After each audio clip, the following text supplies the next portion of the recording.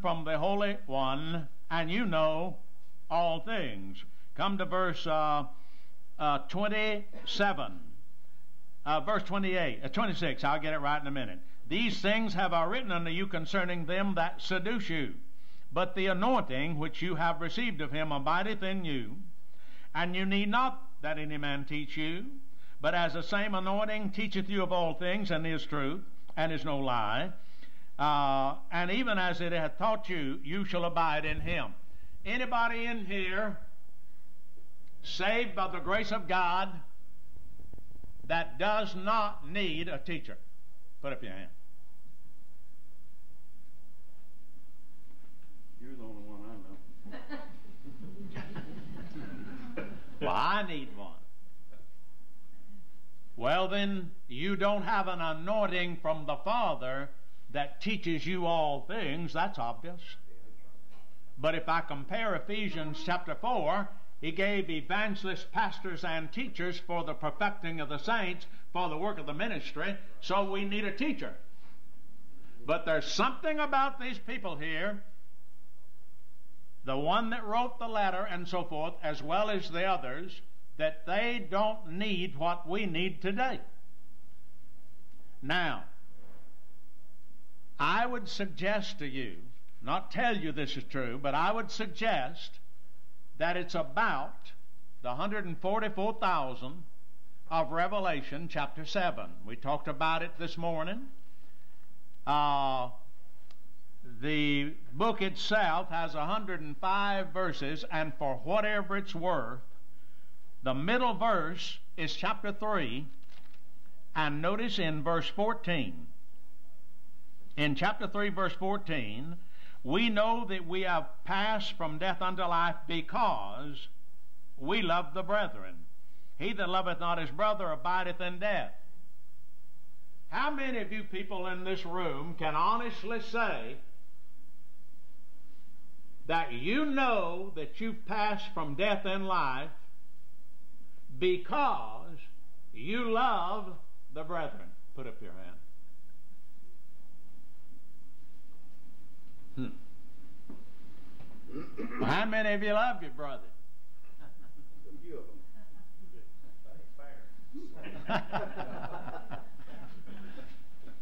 well, the book isn't written to the church, which is the body of Christ. All of the Bible is for us, but it isn't all unto us. Now, this anointing is a very special thing. So I want you to go to chapter 4 now. And in chapter 4, I want you to read with me from verse, uh, uh, well, let's start in verse 11. Beloved, if God so loved us, we ought to love one another. No man hath seen God at any time. If we love one another, God dwelleth in us, and his love is perfected in us. The implication in studying the book has to do with that these are tribulation saints. Over here, the second coming of Christ, atonement, is at the second coming over here. Now, they are looking for the atonement at the second coming, and therefore, notice 1 John, take 1 John 1 in one hand, and take Colossians chapter 2 in one hand.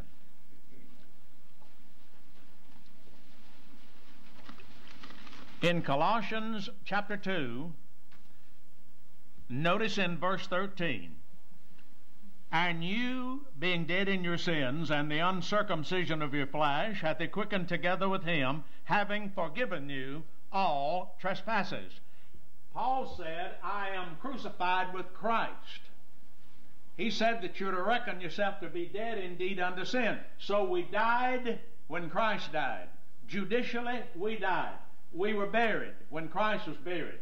We were quickened when Christ was quickened. Ephesians chapter 2 says that we were raised up together and made to sit together with Him in heavenly places in Christ. Bless God, we are forgiven all trespasses, and that happened at Calvary. In fact, we were justified at Calvary. We were made righteous with the righteousness of God at Calvary. And if we are justified, righteous, and forgiven, God can't find any fault in you if you are a saved, Bible believing saint of God. And that's a fact. But these people over here, it's a different thing. In 1 John chapter 1, look at verse 9. If we confess our sins, he is faithful and just to forgive us our sins and to cleanse us from all unrighteousness. Why is he saying that? Because their forgiveness is in the future. We look back to Calvary and have already received the atonement. Romans chapter 5, verse 11 says. These people are looking forward to atonement at the second coming. In Acts chapter 2, Peter said, Repent and be baptized, every one of you, in the name of Jesus Christ, for remission of sins. In other words, he knows that remission of sins for them is at the second coming, and he confirms it in chapter 3, verse 19. In chapter 3, verse 19, he said, Repent ye therefore, and be converted, that your sins may be blotted out when the times of refreshing shall come from the presence of the Lord, and he shall send Jesus Christ, and so forth and so on. So I know that the 3,000 and the 5,000 back here in Acts chapter 2 and Acts chapter 4 were repented and were baptized, identified with the Lord Jesus Christ in water baptism, looking for atonement, forgiveness at the second coming of the Lord Jesus Christ. Now, back in the passage here, in uh, uh, 1 John chapter 4. In 1 John chapter 4, verse, uh, verse 12. No man has seen God at any time. If we love one another, God dwelleth in us, and his love is perfected. Why is he saying that? Because during this period of time, there is going to be a man. This man is going to stand in the holy place in Jerusalem, and he's going to say, I am God worship me. And those who will not bow down to this man, the Antichrist, their heads will be cut off. And so the writer of this book is saying God is an invisible God. In fact, when he wrote the book of John, he quotes Jesus Christ in John chapter 4, and the Bible says that Christ said, God is a spirit, and they that worship him must worship him in spirit and in truth. In fact, when the tabernacle in the wilderness was set up, say that this right here represents the Holy of Holies, and there's a veil right across here. The glory of God came down inside the Holy of Holies back here. The glory of God that overshadowed Mary when she conceived a child called the Lord Jesus Christ. That glory of God is in that place back here. No visible individual, the glory of God. Moses didn't go on the mountain to talk to the Lord anymore. He came to the veil there and talked to the Lord, and the Lord spoke to him from behind the veil. That's a long time ago. So somebody is going to need some teaching. And so, what is the book saying?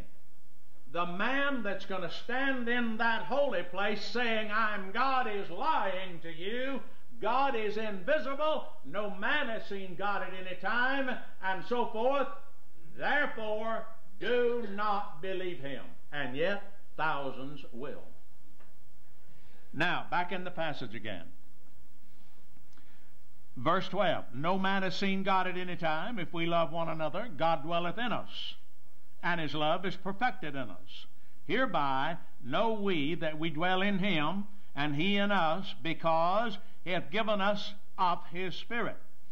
And we have seen and do testify that the Father sent the Son to be the Savior of the world. Now, for the rest of my time here, I want to talk to you just a little bit about the word off. He hath given us of His Spirit. Turn to Acts chapter 2 and hold of the passage. In Acts chapter 2,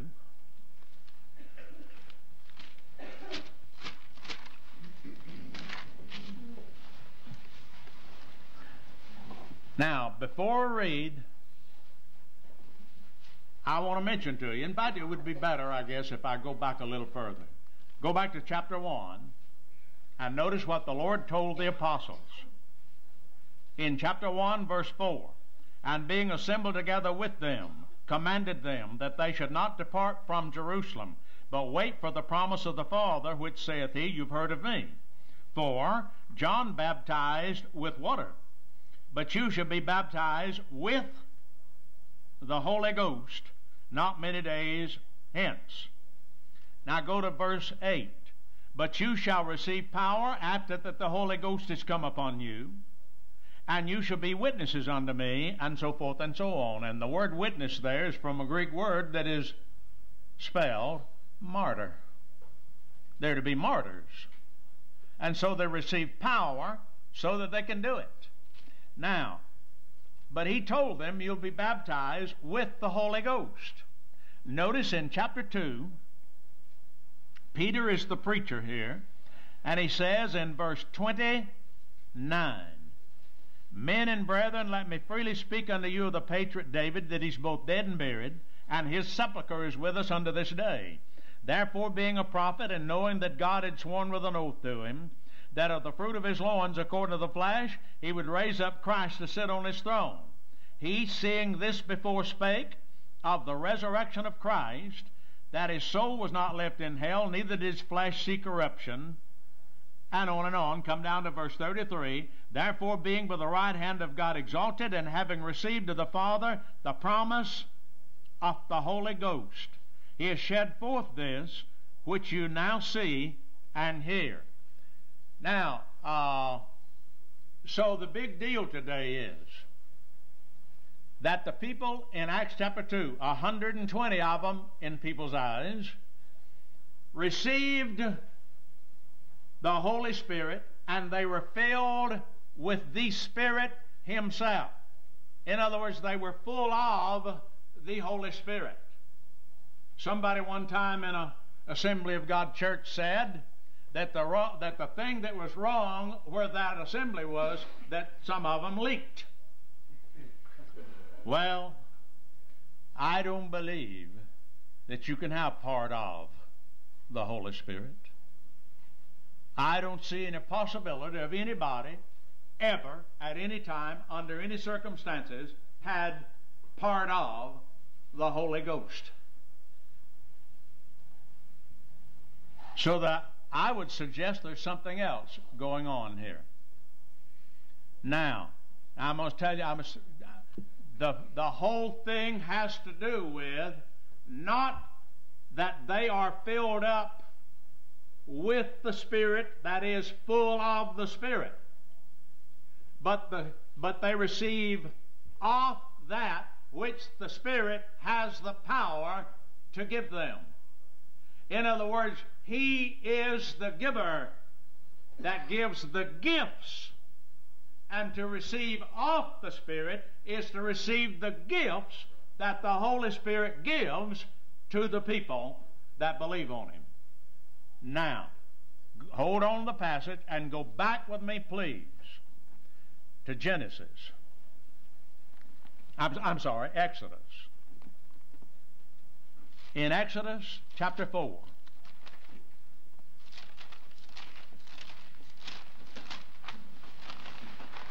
All right, in Exodus chapter 4, uh, verse 1. Now, Moses is arguing with the Lord about going into Egypt to preach unto the Jews there. And Moses answered and said, But behold, they will not believe me, nor hearken unto my voice, for they will say, The Lord hath not appeared unto thee. And the Lord said unto him, What is that in thine hand? And he said, A rod. And he said, Cast it on the ground. And he cast it on the ground, and it became a serpent. And Moses fled from before it. And the Lord said unto Moses, Put forth thine hand, and take it by the tail. And he put forth his hand, and caught it, and it became a rod in his hand, that they may believe. In other words, why do this? That they may believe that the Lord God of their fathers, the God of Abraham, the God of Isaac, and the God of Jacob had appeared unto thee. And the Lord said furthermore unto him, Put now thine hand into thy bosom. And he put his hand into his bosom. And when he took it out, behold, his hand was leprous as snow. And he said, Put thine hand into thy bosom again. And he put his hand into his bosom again, and plucked it out of his bosom, and behold, it was turned again as his other flesh. And it came to pass, it shall come to pass, if they will not believe thee, neither hearken to the voice of the first sign, that they will believe the voice of the latter sign, and it shall come to pass, if they will not believe these two signs, neither hearken unto thy voice, that thou shalt take of the water of the river and pour it upon the dry land, and the water which thou takest out of the river shall become blood with the dry land. Now you couldn't miss that if you tried. How are they going to know that this man is sent from God? They're going to know that this man is sent from God because he performs miracles. Because of the things that he does, he'll have the power to do. Now turn with me, please, to 1 Corinthians and take 1 Corinthians chapter 1, holding on to Acts. Go to 1 Corinthians chapter 1 with one hand, and 1 Corinthians chapter 14 with the other. Or, or if you can handle them both with one hand, then do it. 1 Corinthians chapter 1 and 1 Corinthians chapter 14. And we will just believe the Bible. In 1 Corinthians chapter 1, verse 22. For the Jews require a sign, and the Greeks seek after wisdom. Why did God Almighty give signs to Moses? Because the Jews require what? A sign. Go to 1 Corinthians chapter 14, verse 22. Wherefore tongues are for a sign, and on and on and on. Then tongues are a sign, and they're assigned to who? Why? The Jews require a sign. And so God gave signs. Now, the Lord has trained 12 men back here. They're called kings and they're called priests. And you he said, You shall reign on 12 thrones, judging the 12 tribes of Israel. These men back here are going to be preaching in the tribulation. Matthew chapter 24 said, And this gospel of the kingdom shall be preached in all the world, beginning in Jerusalem. And he said, When you therefore shall see the abomination of desolation that Daniel described, stand in the holy place, run for your lives. So I know then that the twelve expected to be in the tribulation. These twelve, to prove who they are and what they are, as well as the 144,000, have to have signs. Why? Because the Jews require a sign. How about Greeks? They seek after wisdom. Now, back in Acts again. In Acts chapter 2. And when the day of Pentecost was fully come, they were all with one accord in one place. And suddenly there came a sound from heaven as of a rushing mighty wind, and it, the sound, not wind, the sound, it filled all the house where they were sitting. Years ago, I heard Oral Roberts, and there was a man at that time that helped him and whatever, and I'm not positive about his name. I think he called him Deweese. And he said, I'm in Jerusalem. Yesterday, he said, Brother Deweese and I were in the upper room, and we were praying and suddenly the mighty wind began to blow in there, and he went on and on uh, of what he was saying, and he was lying. How do I know he was lying? In AD 70, Jerusalem was plowed under. Jerusalem was flattened out and plowed under, and there weren't no upper room when he was there. But that isn't all. The Bible didn't say there was a strong wind blowing in that room. It said there was a sound as of a wind. Now, when the, and people call it the Shekinah glory, I don't believe those that use that word know what it means anyway. So when the glory of God came into that tabernacle there, and remember that the Lord said in John 3 The wind bloweth where it listeth. You can hear the sound thereof. You can't tell where it came from, nor where it's going, so forth and so on. So when the Holy Spirit, when God, who is a spirit, the glory of God, when that came down in that temple there, it's like a wind in there, and yet no curtains are blowing around, but it's in there. He is there, and Moses talked to him from there. Now, back in the passage. In verse uh, 2 And suddenly there came a sound from heaven, as of a rushing mighty wind. And it, the sound, it filled all the house where they were sitting. And there appeared unto them cloven tongues like as of fire. It didn't say fire sat upon them. It said cloven tongues like as of fire, and it sat upon each of them. And they were all filled with the Holy Ghost. In other words, the Holy Ghost is the filler. The Holy Ghost filled them with something. The Holy Ghost filled them with power, Acts chapter 1, verse 8 said. And so, ignorant fishermen, ignorant men who didn't have an education or whatever, spoke in the language of people that they didn't even know themselves. I'm going to say that this right here represents the Mediterranean Sea, the Sea of Galilee, the Jordan River, and the Dead Sea. Uh, an imaginary line down there. Down here is Judah, up there is Israel. Ten tribes up there, two down here. In the 7th century BC, Sennacherib, the Assyrian king, carried the ten tribes captive into the world. They came back every year to Jerusalem at the time of Pentecost.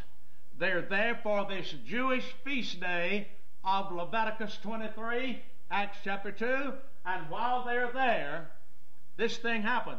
These men had 700 years to lose the ability to speak in Hebrew and, and uh, as Jews spoke.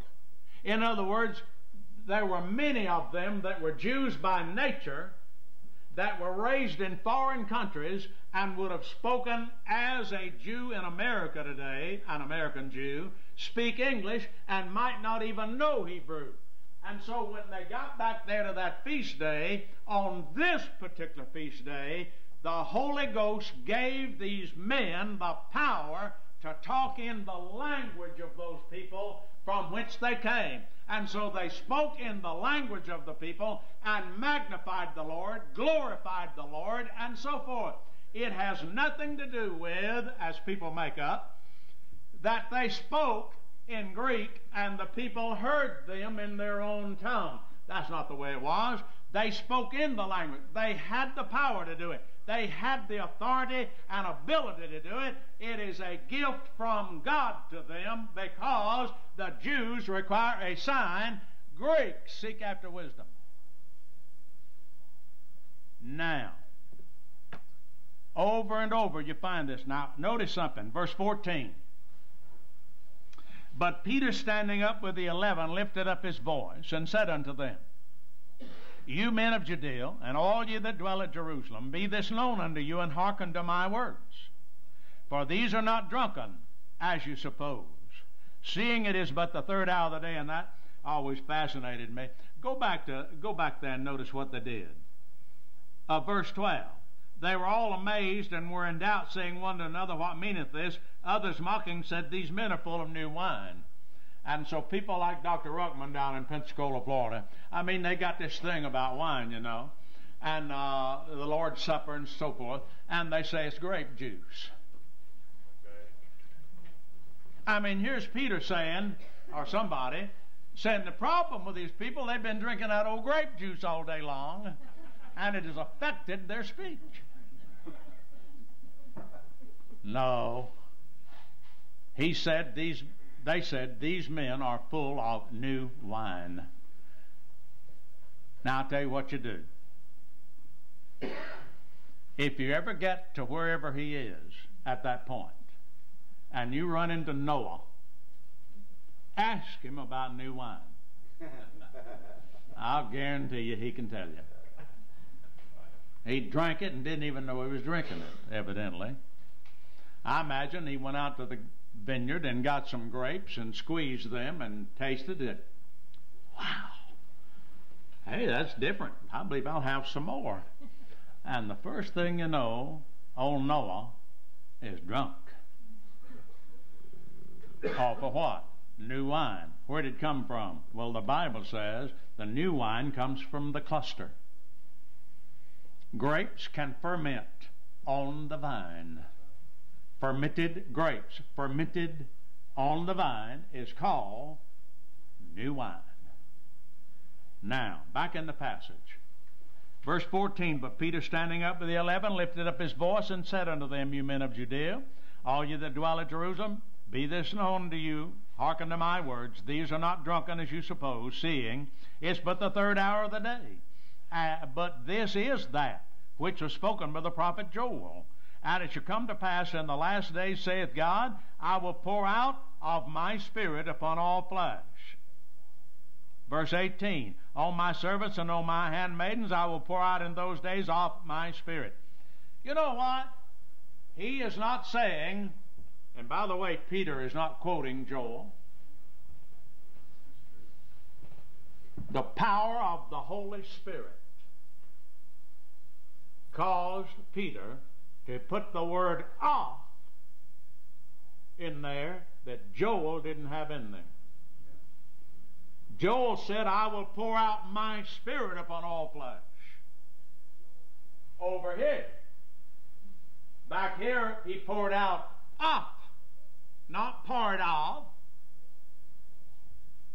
He poured unto them the power of the Holy Spirit, the power by the Holy Spirit, so that they could do things that made them be a sign unto the Jews, because the Jews require a sign, Greeks seek after wisdom. It has nothing to do with getting part of the Spirit and being filled up inside with a portion of the Spirit, and then it all leaves somehow, and you have to go back to the altar and repent and confess your sins and get slain in the Spirit, and then get baptized with the Spirit, and then get full of it all over again, and on and on, and do it over and over. That is not Bible. In fact, the beginning of the tongues movement in America was in California about the turn of the century, and it began with a ministry of a woman. She was having a woman's Bible class and got them started in the speaking of yabba something or other.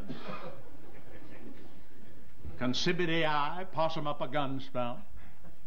Hondo, Toyota, uh, whatever. I don't know what. But folks, it ain't for real. They may have the ability and power by a spirit to speak, but it ain't the Holy Spirit. I have some friends that live in Birmingham, and if I were to call the name, a lot of you in here would know them. They have a relative that had a friend that went to college with her from a foreign country, an Asian. And they were in a Pentecostal meeting one night. And people in there were doing what they call speaking in tongues. And the little girl got up she started crying. She got up and ran out of the building. It's not a ponytail now. They went out. They were very shocked. They wondered what in the world is wrong with this girl. And she said that they are using extremely filthy language in there.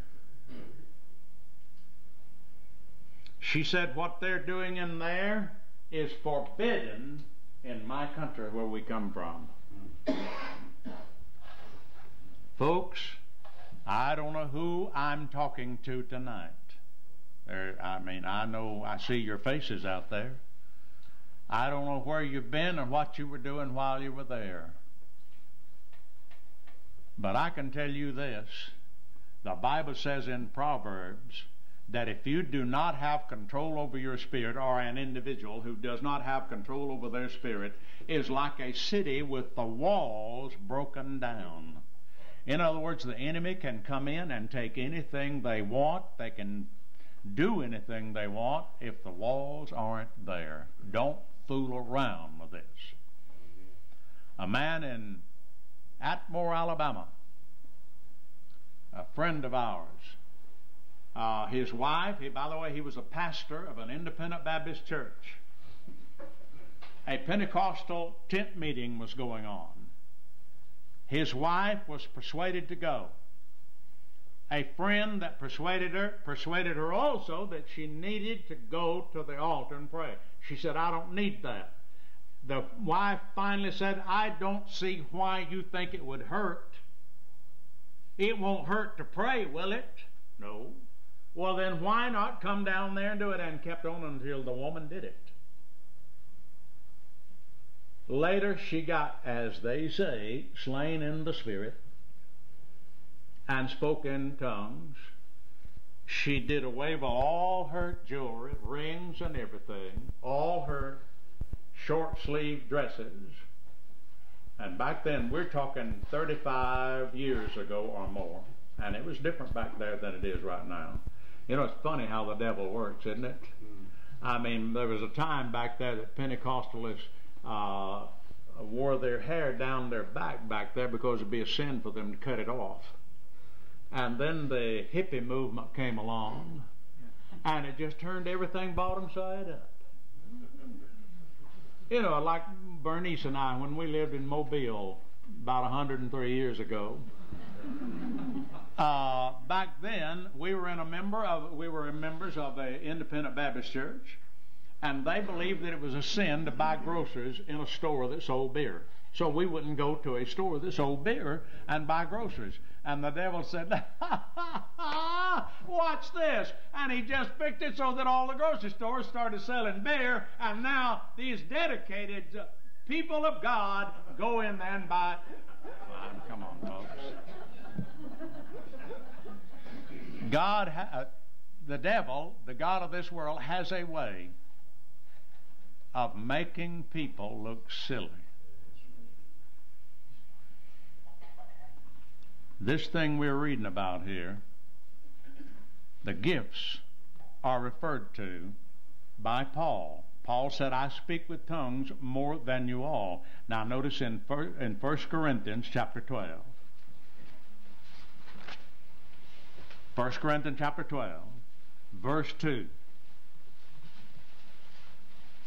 He said, You know that you were Gentiles, carried away under these dumb idols, even as you were led. Wherefore I give you to understand that no man speaking by the Spirit of God calleth Jesus accursed, and that no man can say that Jesus is the Lord but by the Holy Ghost. Now there are diversities of gifts, but the same Spirit. There are differences of administrations, but the same Lord. There are diversities of operations, but it is the same God which worketh all in all. But the manifestation of the Spirit is given unto every man to profit withal. To one is given by the Spirit the word of wisdom, to another the word of knowledge, and on and on and on. These are gifts. During that period of time back there when Paul was going to the Jews, going into the synagogues and whatever, during that time there were the speaking with tongues, languages of the people, to manifest the fact that they were of God. Today, Paul didn't do it anymore. He didn't perform the miracles anymore. He told Timothy, Take a little wine for thy stomach's sake and thine often infirmities. You know that always just reels at me. I got to thinking about that thing and I thought, isn't that weird? After all those years of preaching, there's the Apostle Paul establishing churches, and all these churches that he established. Are you telling me that there wasn't one man out of all of that that had the power to lay hands on Paul and heal him? Paul had a doctor go with him unto his death. Isn't that a rip? You mean to tell me that the Holy Ghost just leapfrogged over the whole thing and came over here and landed on the Robertses and the Orals and the Benny Hinn's and the whatchamacallits, and all that time they. I mean, come on, kid. Let's not fool around this thing. Somebody's pulling somebody's leg. Now, turn with me, please, to Ephesians chapter 5. In Ephesians chapter 5. In Ephesians 5, notice something. Let's start in verse uh, 15. See then that you walk circumspectly, not as fools, but as wise, redeeming the time, uh, because the days are evil. Wherefore be ye not unwise, but understanding what the will of the Lord is, and be not drunk with wine, wherein is excess, but be filled with the Spirit, speaking to yourselves in psalms and hymns and spiritual songs, singing and making melody in your heart to the Lord, giving thanks, and so forth. Now, be filled with the Spirit. Not that the Holy Spirit is filling them up with Himself, but He is the filler. Not that He is giving them the gifts of tongues and healing and whatever, but look at the parallel passage in Colossians 3. In Colossians 3, uh, verse, uh, let's start in verse, uh, let's see, 15.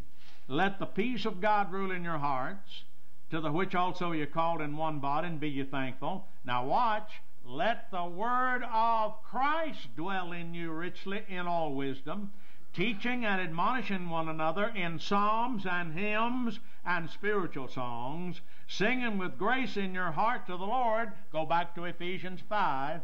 In Ephesians chapter 5, verse uh, 18, Be not drunk with wine, wherein is excess, be filled with the Spirit, speaking to yourselves in psalms and hymns and spiritual songs, singing and making melody in the heart to the Lord. Go back to Colossians again. In Colossians chapter 3, verse 16, let the word of Christ dwell in you richly in all wisdom, teaching and admonishing one another in psalms and hymns and spirit. Why, you know something? What will the Holy Spirit fill you with? He'll fill you with the Word of God. Why? Because you cannot manifest the truth of the Lord Jesus Christ and what He accomplished at Calvary except by the Bible. You say, but you can too. They could do it by the Holy Spirit. You've got to be kidding me. You ever talked to one that had been slain in the Spirit and had the baptism of the Holy Ghost and on and on? I have. For instance, a man was in my home as an insurance salesperson. I knew the man, been knowing him for a long time. Had his briefcase all laid out there and everything, and I was witnessing to him. And he's telling me about the baptism of the Holy Ghost and this and that and the other, and I'm talking to him about the Bible and on and on, and finally he said, Brother Moore, you know that I can't contend with you about the Bible. You know that I don't know the Bible like you. And I said, Hold it. Time out. Are you telling me that you've been slain in the Spirit, had the baptism of the Holy Ghost, and you can speak in other languages and so forth, and yet you don't know the Bible? And I've never been slain in the Spirit. I've never had the baptism of the Holy Ghost, and I know more Bible than you do. And that fellow just folded up his briefcase and out the door he went. A man and I, a pastor and I, was in a church, I, am sorry, was in a house in Mobile, Alabama, and the woman in there was a Pentecostal pastor. So I had my Bible on the coffee table there, and she was on the other side, and I was trying to show her that, and she was shutting my Bible. And I said, please don't do that. Look at the verses. I don't need to look at verses. And so we started, and she shut the Bible. And I said, you got some, and whatever. Anyway, she jumped up, and that woman started screaming, the devil's in my house. The devil's come in here. And she's running around in there and acting like some kind of crazy thing. And she ran out on the sidewalk and she's yelling that there are two demons in my house here. And, and people are coming out their doors and, and me and this guy got to leave. and all these people are looking all around at us. I hope I didn't step on somebody's guitar up. And, uh, I mean, come on, folks. This stuff is ridiculous. You know that? The Bible is the Word of God. Holy men of God wrote as they were moved by the Holy Ghost.